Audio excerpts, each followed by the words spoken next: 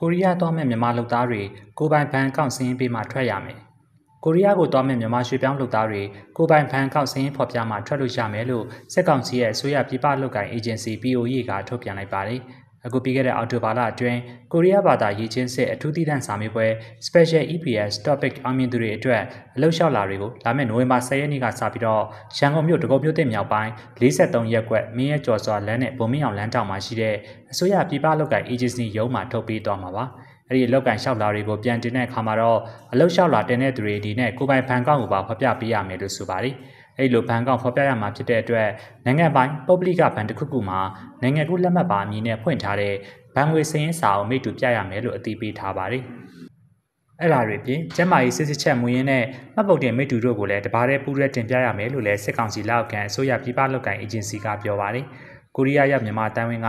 စစ်ကောင်စီကပြည်ပကိုသွားမဲ့လုပ်သားတွေစီကနေလာစာငွေပြည်တွင်းကိုပြန်ဝင်ဖို့အတွက်နီလန်ပေါင်းဆောင်လုပ်နေတာအခုပြည်ပရောက်မြန်မာလုပ်သားတွေလာစာငွေရဲ့25ရာခိုင်နှုန်းကို3လတစ်ကြိမ်တရားဝင်လမ်းကြောင်းကပြန်လွှဲရမယ်အဲ့ဒီလိုလွှဲဖို့ဒီဘက်မှာဘဏ်ကောင့်ကို passport မှာပါတဲ့နာမည်အတိုင်းဗန်စင်းဖွင့်ခိုင်းထားတာပြည်ပရောက်သွားတာနဲ့ပတ်စံကိုဒီဘက်ပြန်မလွှဲမှာဆိုလို့လုပ်နေတာအဲ့ဒီလိုငွေပြန်မလွှဲရင်ပြည်ပကိုထွက်ခွင့်၃နှစ်ပိတ်မယ်ဆိုပြီးလုပ်ထားတယ် အဲ့ဒါကတော့ပြည်ပလုပ်သားတွေစီကအခွန်မရမှာဆိုလို့အခုလိုလုပ်တာလူသမားတွေရဲ့လွှဲပုံငွေကိုချုပ်ကင်စောင့်ကြည့်ဖို့လုပ်တာနောက်လူတွေကိုပိုကျက်မဲ့သဘောတွေ့ရတယ်လို့မှတ်ချက်ပေးပါတယ်။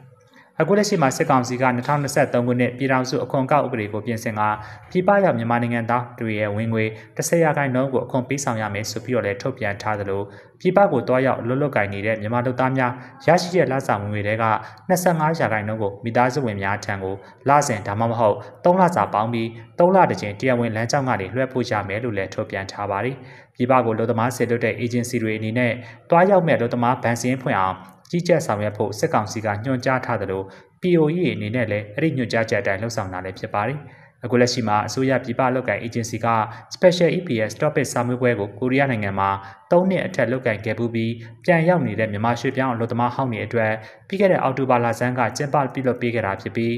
ပြည်စုသူ1900နီးပါးနဲ့1500ခန့်အောင်မြင်တယ်လို့လည်းသိရပါတယ်။အခုလက်ရှိတောင်ကိုရီးယားနိုင်ငံမှာ EPS စနစ်နဲ့မြန်မာလူသား9000နီးပါးရောက်ရှိလုပ်ကိုင်နေကြတယ်လို့လည်းကိုရီးယားရောက်မြန်မာလူသားတာဝန်ကသိရပါတယ်။ပြည်ပကိုတွားရောက်ပြီးပြည်ပနိုင်ငံတွေမှာအလုပ်သွားလုပ်ကြတဲ့နိုင်ငံသားတွေစီကနေအခွန်ကောက်ဖို့အတွက်စစ်ကောင်စီဥက္ကဋ္ဌဗိုလ်ချုပ်မှုကြီးမင်းအောင်လှိုင်ကတော့ဥပဒေကိုပြင်ဆင်လက်မှတ်ရေးထိုးထုတ်ပြန်ပြီးပြည်ပကိုတွားရောက်အလုပ်လုပ်ကိုင်မဲ့နိုင်ငံသားတွေအနေနဲ့၎င်းတို့ရဲ့ Passport for Job PJ နဲ့ Passport for Seaman PS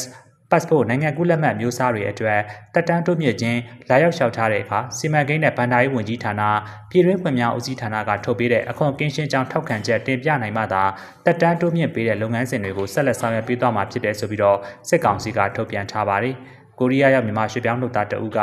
ကိုရီးယားမှာအလုပ်လုပ်ရတာကထင်ထားသလောက်မလွယ်ကူဘူးအရန်ပင်ပန်းနဲ့သူများနိုင်ငံမှာအလုပ်လုပ်ရတာအခက်အခဲတွေကအများကြီးမြန်မာလူသားတွေအခက်အခဲဖြစ်တာကိုတော့အကူအညီမှုမရှိဘူးအခွန်ကိုတော့ရသလောက်ညှိ့ကိုစူးစမ်းနေတာကိုရီးယားမှာမြန်မာလူသားတွေအခက်အခဲဖြစ်ရင်ကိုရီးယားရောက်မြန်မာတိုင်းဝင်ငါပဲကူညီပေးတာတိုင်ယုံကဘာမှလုပ်ပေးတာမျိုးမရှိဘူး passport တက်တန်းတို့ရင်အခွန်ကောက်ဖို့ပဲနားလေတာလို့ပြောပါတယ် အခုစစ်ကောင်စီကပြင်ဆင်လိုက်တဲ့ဥပဒေမှာပြည်ပမှာနေတဲ့နိုင်ငံသားတွေလစာအပေါ်ဝင်ငွေခွန်ကင်းလွတ်ခွင့်ပြစ်မှုကိုပယ်ဖျက်လိုက်ပြီးပြည်ပရောက်မြန်မာလူသားတွေအကုန်လုံးနိုင်ငံခြားငွေဖြင့်ဝင်ငွေခွန်ပေးဆောင်ရမယ်ဆိုပြီးထုတ်ပြန်ထားရလဲဖြစ်ပါတယ်။အခု2023ခုနှစ်အောက်တိုဘာလကစပြီးတော့ပြည်ပရောက်မြန်မာလူသားတွေအနေနဲ့လစာရဲ့200ရာခိုင်နှုန်းကိုအခွန်ဆောင်ရမယ်လို့ထုတ်ပြန်ထားတာပါ။အဲ့ဒါအပြင်လစာဝင်ငွေခွန်ကိုနီးလက်နှမျိုးဖြင့်တွက်ချက်ပြီးနေရာကိုပေးဆောင်ရမယ်ဆိုပြီးတော့လည်းထုတ်